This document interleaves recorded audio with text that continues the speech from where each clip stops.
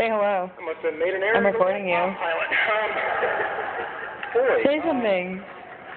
Say something. I got the speech. Brian, say uh, something. Let's see. The name of that game you have on your game. Uh, yeah. Android, you faggot. Here we go. What's the name of it? You know, when Bill Gates first called me to speak to you today, I think I'm dating a uh, catatonic man. but when he